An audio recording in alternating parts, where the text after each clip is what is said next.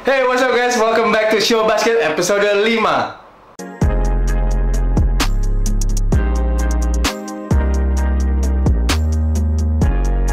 Iya balik lagi bareng gue Rocky Padilla dan sebelum gue mulai episode kelima show basket ini gue mau share beberapa announcement buat kalian.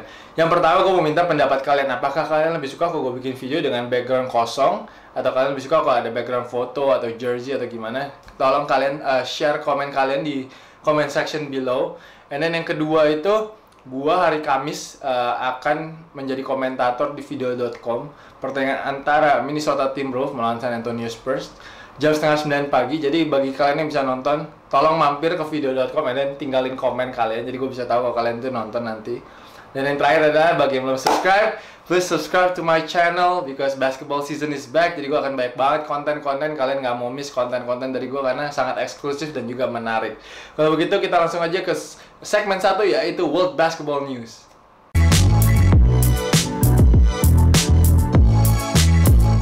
Guys, NBA season is back tomorrow morning. Just one more sleep. Akhirnya kita bisa lagi nonton uh, aksi-aksi pemain NBA. Dan besok itu ada pertandingan antara Boston Celtics melawan Cleveland Cavaliers. Dan ini storyline sebanyak banget. Yang pertama gue mau share adalah LeBron James besok belum tentu main. Uh, pelatih Cleveland sendiri, Tyron Lue, nggak yakin kok LeBron itu besok bisa bermain. Karena itu dia memiliki cedera ankle yang dialami saat uh, latihan Cleveland tanggal 27 September lalu. Tapi J.R. Smith yakin banget kalau LeBron besok akan tetap bermain dan akan bertemu dengan Kyrie Irving besok. Jadi kalau gitu kita lihat aja yuk uh, video dari J.R. Smith. Do you feel prepared if LeBron can't go? I mean, do you you got some? Oh, he gonna go. he gonna go. Trust me that. I don't care what he got to do. He gonna play. Dan J.R. Smith tidak berhenti di situ aja. Dia juga mengomentari kekuatan barunya Boston Celtics. Karena Boston Celtics banyak sekali wajah baru. Ada Kyrie Irving, ada Gordon Hayward, ada rookie Jason Tatum, ada Marcus Morris. Jadi menurut JR ini uh, kekuatan barunya Celtics ini tidak mengkhawatirkannya dia. Tidak mengkhawatirkan dia karena menurut dia Celtics itu bukanlah ancaman untuk uh, Cleveland. Jadi kalau begitu kita lihat aja JR bilang apa. I mean, nobody really knows what to people are expecting good things from Tatum, so I don't. I mean, I, he's a rookie, so I can't really, you know, go there with him. Al's to be Al, pick and pop guy, doesn't really roll as much, and so. I mean, Jalen has obviously gotten better, so.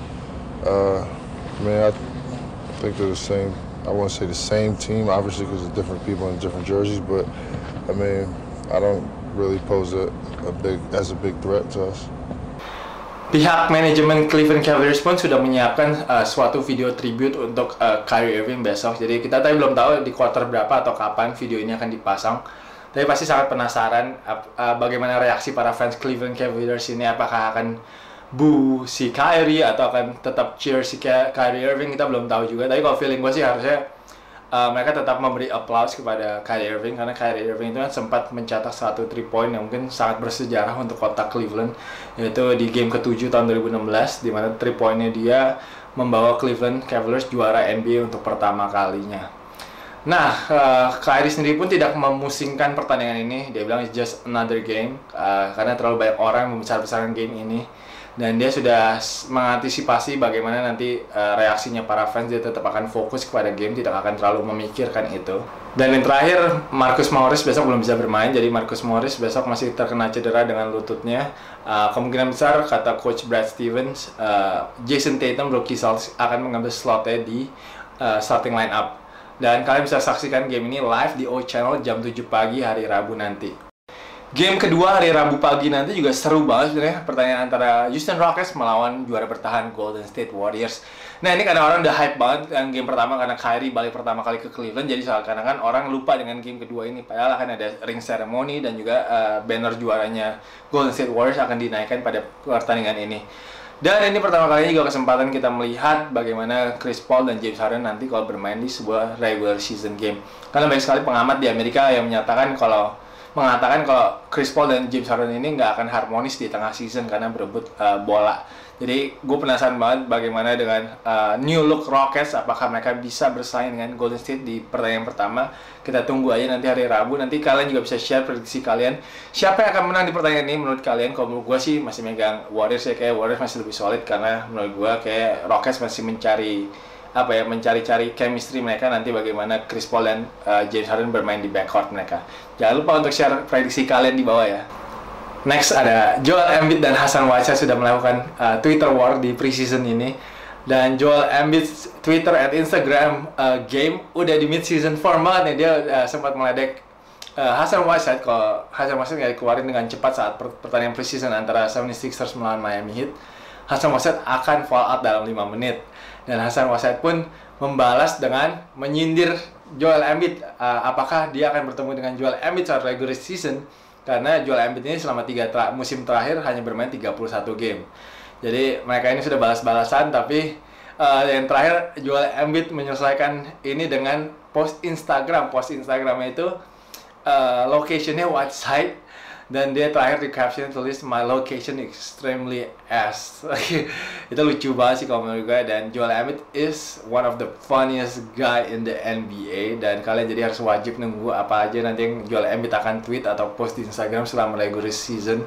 Karena memang dia he's a joker he's a funny guy and he's gonna be the MVP for social media this upcoming season Berikutnya ada Kevin Durant yang membicarakan tentang pemain yang jersinya gue pakai yaitu Yanis Antetokounmpo. Nah, si Kevin Durant ini dalam interviewnya bilang kalau dia suka banget nonton pertandingannya Yanis. Jadi dia sering banget uh, nonton Yanis dan menurut dia Yanis itu adalah pemain yang memiliki potensi untuk menjadi uh, greatest of all time. Jadi kalau gue bilang Yanis ini memang memiliki potensi seperti itu, ceilingnya tinggi banget dari panjang badannya dan juga skillsnya dan dia musim ini sekarang menambahkan senjatanya yaitu uh, mid range jumper dan juga mungkin three point jumper. Jadi kalau dia udah bisa nge-shoot sih menurut gue sih Yanis udah luar biasa, udah komplit banget karena dia bisa defense dan juga bisa passing dan ya, driving game sendiri kalian tau lah udah luar biasa banget. Jadi kalau gitu kita langsung lihat aja komentar Kevin Durant. I like long athletic guys. I mean that's just how, who I am. But Greek Freak I think is is a force and he's nothing. I've never seen anything like him, and his ceiling is probably he could he could end up being the best player to play if he really wanted to. So um, that's pretty scary to think about, uh, but he's by far my favorite player to watch. Dan sekarang gue mau update kalian tentang berita-berita di NBA. Yang pertama ada LaMarcus Aldridge yang baru aja memperpanjang kontrak selama 3 musim lagi bersama San Antonio Spurs. Lalu ada Lonzo Ball yang menyatakan kalau dia akan bermain di home opener melawan Los Angeles Clippers. Lalu ada juga Kawhi Leonard yang nggak bisa bermain di game pertama melawan Minnesota karena cedera quadriceps. Uh, ada juga Andre Iguodala dan uh, Andrew Bogut yang tidak bisa bermain juga di opener Golden State Warriors. Dan ada juga CJ McCollum yang terkena suspension setelah meninggalkan bench saat ada perkelahian di pertandingan preseason antara uh, Portland Trail Blazers melawan Phoenix Suns. Dan sekarang gue mau berbagi juga beberapa berita tentang pemain yang tidak diperpanjang kontraknya. Yang pertama ada Julius Randle. Ini semua pemainnya akan menjadi restricted, uh, restricted free agent. Pertama ada Julius Randle dari Lakers, ada juga Jabari Parker, ada juga Clint Capella dan Marcus Smart. Dan yang terakhir yaitu berita dari Philadelphia 76ers. Uh, rookie Markel Fultz, rookie nomor satu uh, Philadelphia 76ers ini tidak akan dimasukkan di starting line up oleh pelatih Brad Brown pada opening game-nya dia karena menurut Bradburn ini uh, kemarin persiapannya Markel saat uh, preseason sangat kurang menitnya jadi dia mau memulai Markel dari uh, benchnya 76ers. Itulah semua berita dari World Basketball News. Kalau begitu langsung kita ke segmen kedua yaitu Clips.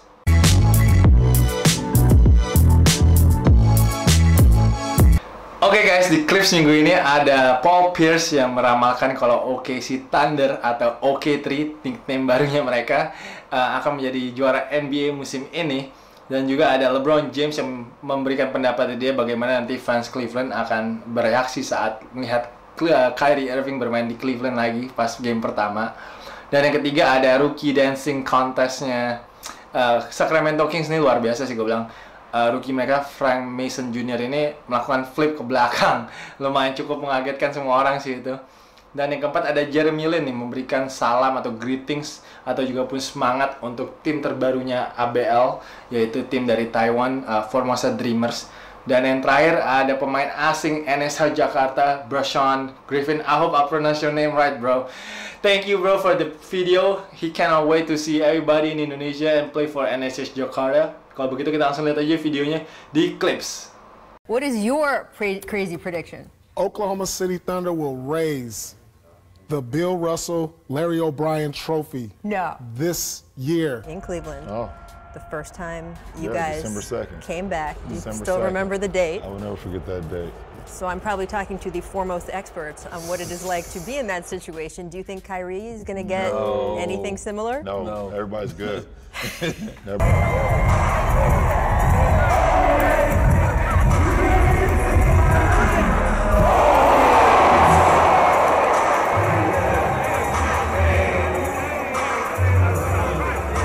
Gongshi for most of Dreamers. I can't wait to watch you guys play. I'm really excited. I know you guys are going to do well this year. Jayo.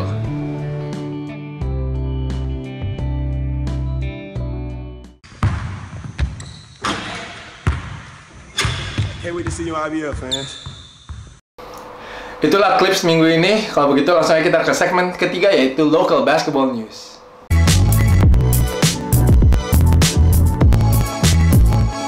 Di local basketball news minggu ini ada berita pertama pergantian pelatih dari NSH Jakarta. Dia mereka mengambil coach Wahyu Widajati atau coach Cacing. Coach Cacing ini baru saja membawa Indonesia di SEA Games untuk membawa pulang medali perak dan kali ini dia mendapatkan tantangan yang besar dengan skuad yang sangat muda di NSH Jakarta.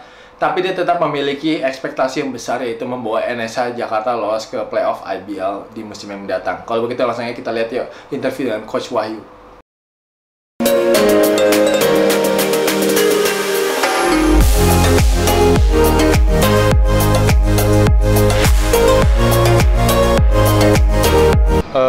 Ya bisa playoff lah kalau season 2017-2018 gitu saya harapin. Eh, ya ada ya challenging lah ini tim tim ya istilahnya tim baru buat saya yang levelnya ya mungkin eh, tahun lalu kan di peringkat 9 kalau nggak salah. Jadi eh, saya ada challenge buat ya bawa ini ke eh, peringkat lebih baik lagi gitu loh. Eh, kebetulan juga dari manajemennya ngasih saya kebebasan untuk berkreasi seperti di klub lama saya sebelumnya. Di berita lokal kedua ada dari Satria Muda Pertamina Jakarta mereka akhirnya memperpanjang kontrak bintang mereka yaitu Ronaldo Sitepu atau Dodo. Nah Dodo senang sekali akhirnya bisa memperpanjang kontraknya dan berharap bisa tetap menjadi leader untuk Satria Muda dan bisa membawa Satria Muda juara lagi di musim yang mendatang. Selanjutnya ada dari juara bertahan Pelita Jaya MP yang baru saja menyelesaikan training camp mereka di Impact Basketball Las Vegas. Nah kemarin mereka ini sempat menjalankan satu scrimmage nih melawan Impact Academy. Nah Impact Academy ini berisikan pemain-pemain yang uh, selalu berlatih di Impact Basketball dan mereka sudah berumur di atas 18 tahun. Dan main Pelita Jaya kalah tipis 86-79 dari tim Impact Academy. Gue mengharapkan bisa menaikkan video highlights dari pertandingan tersebut uh, either hari Kamis atau hari Jumat karena gue main sudah dikirimkan oleh pihak Pelita Jaya uh, pertandingannya. Thank you banget untuk pihak Pelita Jaya yang sudah meng- mau mengirimkan video tersebut. Dan gue mau kasih lihat kalian sekarang uh, mereka ini sebenarnya fokus kemarin di individual training jadi uh, mereka ingin sekali mengimprove semua skills para pemainnya. Jadi gue pengen kasih aja lihat beberapa video yang gue temukan di Instagram. Kalau begitu langsung kita lihat videonya.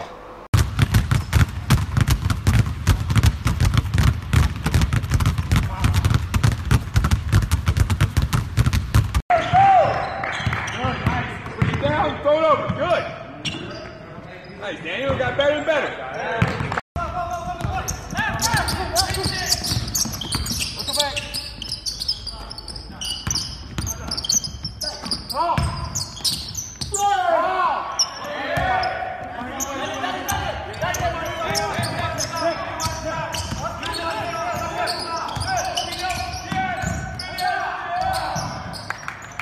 Berikutnya tetap dari Amerika, yaitu beri, gue menemukan satu video pemain Indonesia bermain di Amerika.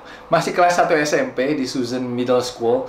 Uh, tingginya 5'8", umur 12 tahun, namanya Gavin Ibrahim. Dan kalau gue lihat dia skillsnya bagus banget, ada inside dan outside game-nya. Dan dia sudah terpilih ke Junior All American Camp. Kalau begitu langsung kita lihat aja highlights-nya.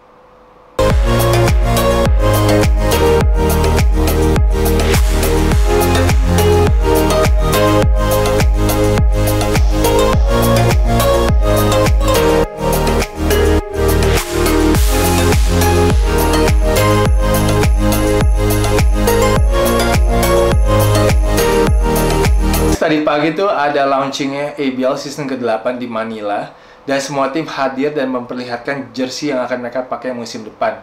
Kita juga bisa lihat jersey CLSN Surabaya.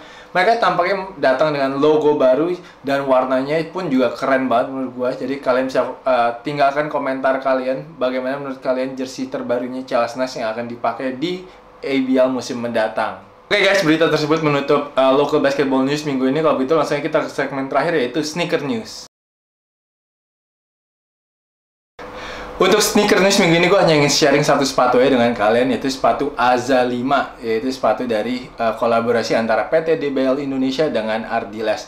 Nah sepatu ini didedika, uh, terinspirasi dari Mas Azrul Ananda founder DBL Indonesia yang hidupnya didedikasikan untuk pengembangan basket di Indonesia. Nah harga sepatunya ini sendiri adalah 349.800 dan gue harap mau nunjukin ke kalian trailernya dari sepatu ini.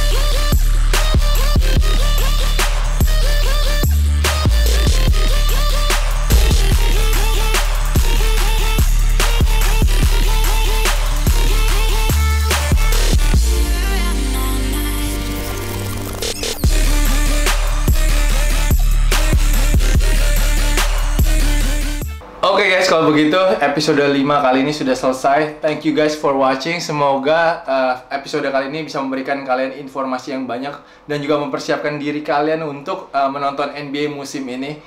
Thank you banget guys for watching. Jangan lupa untuk kasih thumbs up, comments apa pun yang kalian mau dan jangan lupa juga untuk subscribe ke channel gue. Kalau begitu nama gue